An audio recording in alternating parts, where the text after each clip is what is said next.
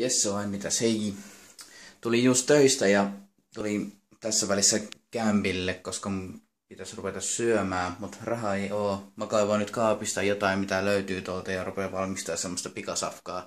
Sitten mun täytyy rientää tuonne teatteriin näyttelemään sen jälkeen. Eli tässä ei kauheasti niin kuin viitetä aikaa tota, ruu, ruoanlaittoon, mutta mä rupean pausittaa vaihe vaiheelta, mitä mä teen pikaruukka. Eli nuudelia ja sitten paistan paistinpannulla kananmunaa ja mä sekoitan noi ja kananmunat yhteen hetken pistän sekaisin tuosta noin ja sitten vielä lisään siihen tommosen niin kuin tonnikala palaa vedessä. Hetki pieni.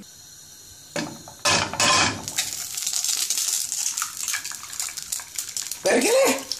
Ei tää onnistunut! Eli kala... Sinne meni kuori.